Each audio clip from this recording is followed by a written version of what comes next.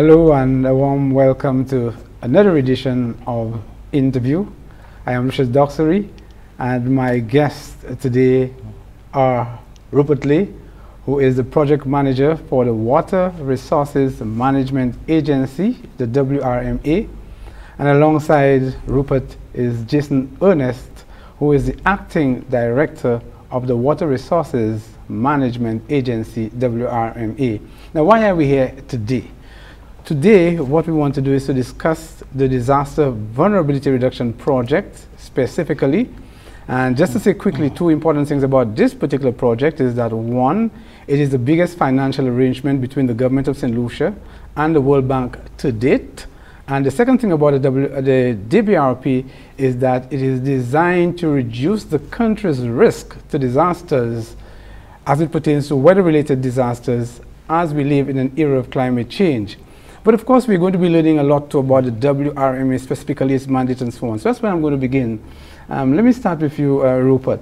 When we hear of anything to do with water in St. Lucia, generally the first company or institution that comes to mind happens to be WASCO. Yep. But here we have the Water Resources Management Agency, the WRMA, and by its very nomenclature, Water Resources Management, it does indicate that you have a very strong mandate to manage this very important resource in St. Lucia. So can you speak to generally, briefly, the mandate of the WRMA? Briefly, its mandate, and uh, it's suggestive in the, in the actual nomenclature, as you just said, is to manage water resources. So uh, we govern by an act, and this act establishes the WRMA for the purpose of managing water resources in St. Lucia. Now that's a, that's a, um, a very critical role in uh, the well-being of the country as a whole. It impacts on health and so on when you speak about water resources and managing these resources. That assists us in many ways. Um, you can think about uh, the tourism industry we, we cannot have a tourism industry without water. I, I just mentioned the health of the nation depends on the availability of clean water as well. So water resources is, plays a critical role in a country's development. So that is why um, the WRMA was established to manage those resources. Mm -hmm. Certainly. I mean, we hear a saying, and it's a cliche, perhaps an overused cliche, that water is life, but clearly we know that water is life. I mean, for my part, give me a choice between water and electricity. On any day, I will select water. I want the availability of water. Uh, but Jason, I did say at the top of the introduction that when you hear water, you hear WASCO. In fact, that's a correlation. Is there some sort of direct or indirect relationship between the WRMA and WASCO? Um, I will say that uh, yes, there is, um, because the functions that are currently being undertaken by the agency was in fact being um, done by WASCO before the, um, the implementation of the, uh, the act that created the, the Water Resources Management Agency. So um, basically, um, WASCO and WRMA are two peas in a pod because we're both, uh, we're both in the interest of um, managing and protecting the water resources of St. Lucia and uh, we are responsible for um, the abstraction of the water resource. And most of the, um, uh, the, um, the water supply comes from surface water in St. Lucia. And this is where WASCO primarily abstract their water. So we're responsible for protecting um, what happens in our watersheds. So WRMA and WASCO have a critical role because um, we do monitoring and WASCO also do their own monitoring of the, um, of the resource. And based on what uh, is seen in in the watersheds that uh, may affect um, uh, the, uh, the, the quality and quantity, then we liaise with each other to see how best we can ameliorate the situation. Now, we have a long, bit of discussion that has been ongoing for a very long time in terms of how we manage water in the country and perhaps globally as well, but we will stick to St. Lucia, this is where we live, and that there may be a sort of lack of appreciation for water even compared to electricity. Um, can you pull from your mind, Rupert, a water fact so that people can appreciate what goes on with uh, this very important resource in St. Lucia?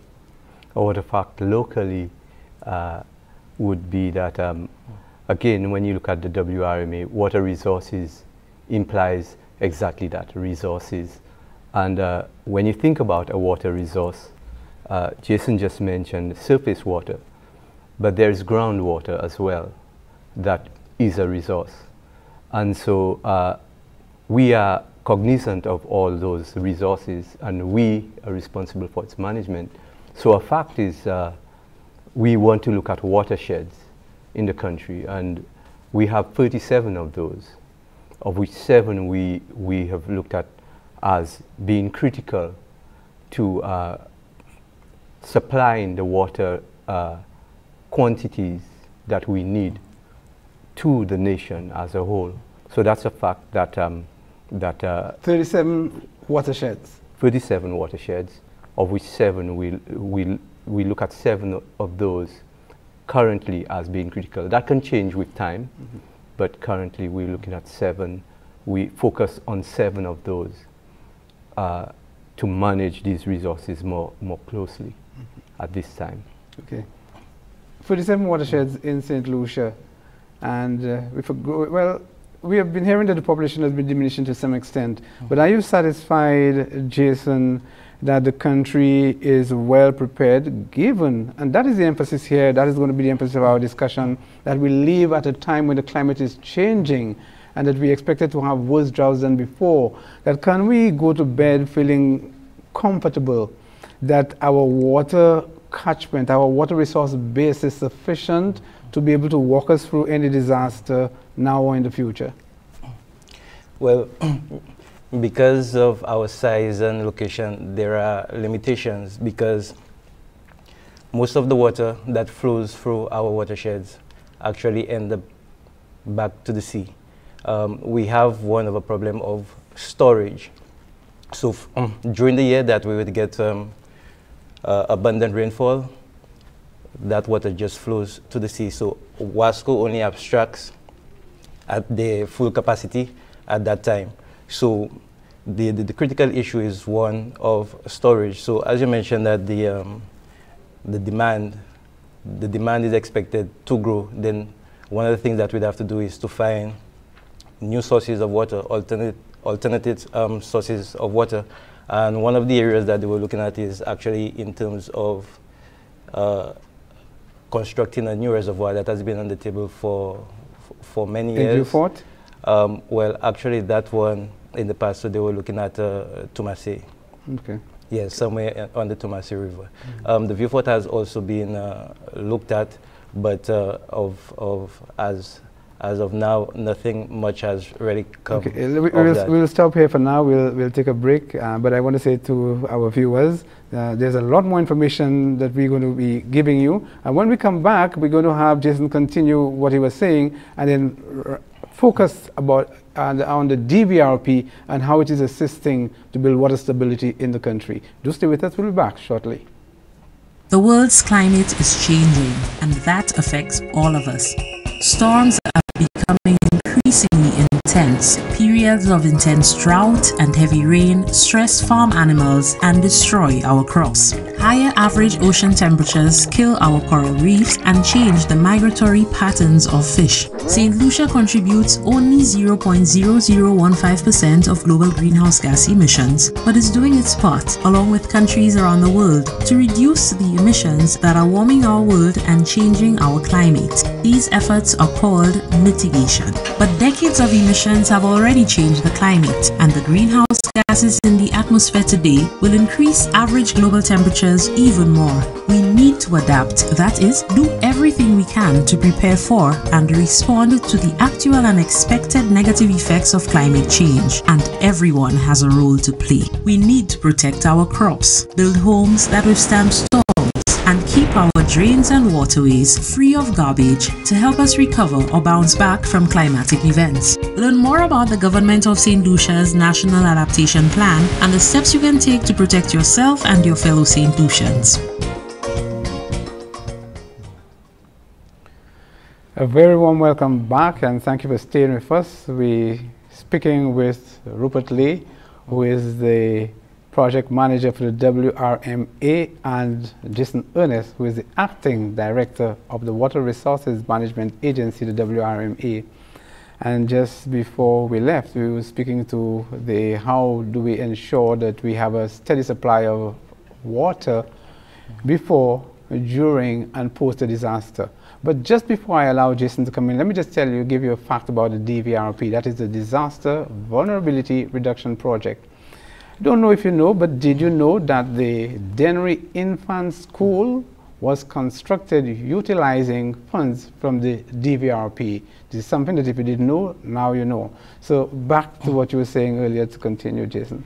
Yes, so um, as I mentioned that it's, it's one in terms of uh, um, the, the storage of the resource. So this is one of the areas that um, we're looking to push in terms of conservation. So conservation not only in terms uh, of the uh, in the environment, but also in terms of uh, at a household level, so that that resource persons are constantly aware that you know the resource has a value and that it should be it should be protected. And one of the things that we at WRMA are doing is in terms of okay, looking at WASCO intakes as a baseline, so it's there, how best we can protect it so that the water quality is not affected because the more WASCO has to shift the intakes higher up into the watershed, that means less of the, the water resource that they would have at particular times of the year because in St. Lucia we have many tributaries and WASCO have the intakes on tributaries. So the higher up you go, the, um, uh, the, the, drainage area you have coming into those areas would be signif significantly diminished mm -hmm. and mm-hmm. that would affect um, the areas that are being supplied um, from, from those intakes. So it's one of protecting what we have now mm -hmm. and then seeing um, what um, uh, initiatives that we can implement to actually um, uh, augment our water supply. Yeah, yeah. I, I, must say, uh, just before you come in, I know you wanted to add something, but, but I must say, from the information that you have so far disseminated, that it is clear that the WRMA is um, undertaking this management in a very thorough way, and clearly you, uh, from what you have said just far, that you're very, I say serious, for using just a, a, mundane word, of ensuring that the country has, you know, a potable supply of water, regardless of whatever circumstances that we are faced with. Yes, Robert. Yeah, I wanted to hasten to add as well. Uh, um, when we look at uh, our mandate again, it's managing water resources. And when you think about water resources, uh, the supply of that resource comes from through rainfall as well as water intrusion through the sea. So, and that the, the, the rainfall is clear, it's, and, and that's what translates into what we call surface water and groundwater uh, in the upper reaches of the watersheds. Uh, water intrusion through saline wedges in the, in the sea also contributes, and that, that's mainly through groundwater. But to expound on what Jason was speaking about to do with one of our mandates, one of, of, of, our functions is to promote water conservation. So you can look at a water resource, a country's water resource, in more than one way. You could focus on conservation as well. And when we promote water conservation, that assists us retaining what we have as a resource because then you, you're managing that resource in an efficient way. So if we, uh, um, to water users, we promote the conservation of water, then that awareness will assist us in maintaining uh, uh, a healthy integrity of that water resource mm. to start with. Yeah. But also we need to think about management. Now I know when we started, you, you raised the question about our relationship with WASCO. We also have a close relationship with uh, the forestry department because that is critical in the watershed. Forests is, is one of the uh, uh, um, entities that, that helps us protect that resource in that it reduces evaporation, for instance. and, um, it, and, and trees, forest trees retain water, one. Secondly, they, they are critical in um, maintaining um, slopes, um, um, keeping the, the, the, structural integrity of slopes intact and preventing um, what we, we, we always have uh, a problem with during times of storms, landslides and so on. Whenever you have a landslide, you lose your, a portion of your water resource through groundwater mm -hmm. and so on. And um, when I speak of groundwater in the upper reaches of, of a watershed, that groundwater emerges as surface water, a portion of that groundwater emerges as surface water downstream of any stream. Mm -hmm, okay. So yes, you get infiltration and the trees would help you with that. So that's another uh, uh, organization or entity that we work with closely mm -hmm. in order to protect that resource. Good. So there's this kind of um, integrated approach to exactly. ensuring that we have, uh, you know, a steady supply of water. Let's speak specifically to the DVRP as it pertains, Jason, to the watershed management plan that mm -hmm. was funded for the disaster vulnerability reduction project. Tell us a little about that. Okay, so um, the the agency as a whole, um, we have many um, uh, stakeholder partners. And to actually engage your stakeholder partners, you need to have the facts on the ground as to what is happening. And since we're moving towards an integrated um, uh, water resource uh, management um, approach, so um, it's basically compromising for everybody because everybody uses the watershed.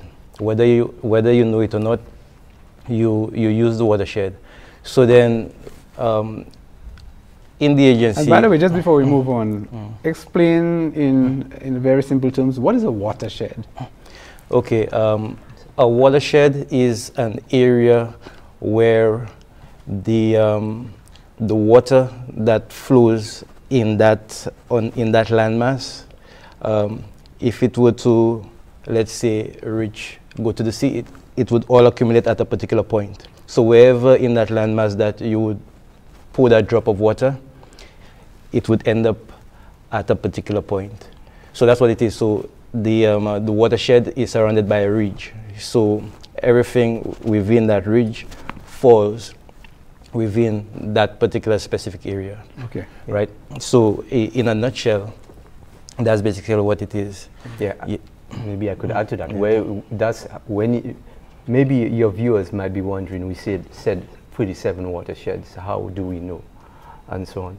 What that, and that is the question you, you're asking, how do we define a watershed? And Jason mentioned that uh, it flows to the sea. That's the critical part. You have tributaries and you have rivers, and tributaries feed into rivers. What would guide you defining a watershed is when you look at our coast where you see an outfall into the ocean. You start from there and then you work backwards. Mm. Now, when you work backwards and you walk up that river, you'll see the tributaries. But then, if you look up, you'll see the ridge, the mountain ridge. And a watershed implies that the water is shed as it falls. And so, some would, so if you look at Millet and you look at uh, another area next to Millet, that's another watershed um, there'd be a mountain ridge that splits the rainfall to, on both sides and flows down into mm -hmm. that river or that river okay. or that tributary. And that's what defines what a watershed would be. So you'd have the Ro Roseau watershed. We have a Castries watershed, which is very complex. Mm -hmm. And we have different ones, uh, Mabouya Valley and so on. Okay.